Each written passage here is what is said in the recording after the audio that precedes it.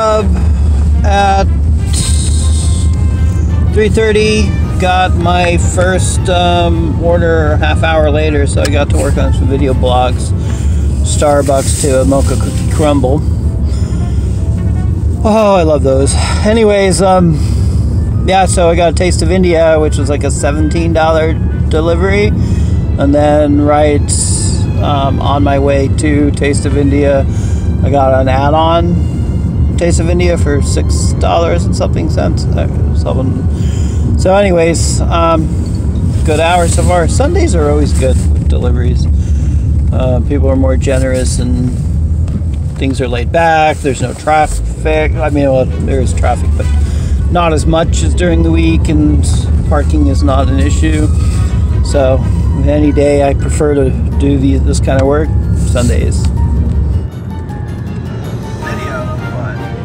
So, the Grubhub for the hour and a half um, really only worked about a half hour um, for $24, which is not bad. The rest of the time on Grubhub, I was at Winco doing shopping, waiting for orders, and no orders came through.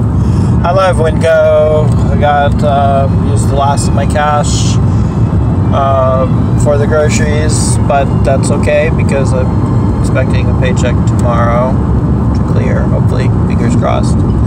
Both the Grubhub and um, a client check was submitted on Saturday, but um, it hasn't cleared yet. So, anyways, but I'm not going anywhere tomorrow because the whole week um, there was no Grubhub hours. Uh, might get some WeGo looks through the week, hopefully. Um, I have a lot of client web work to do.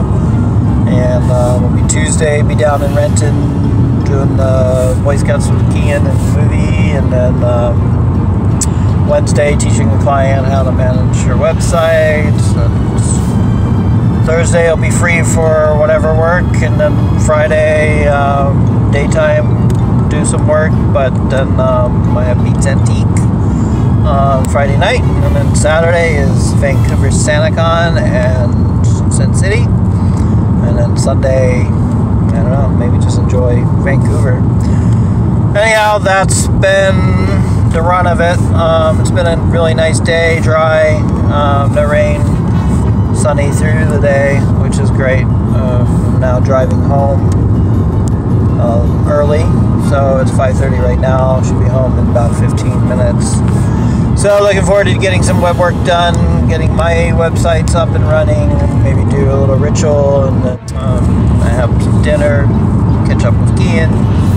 So today has been a good day.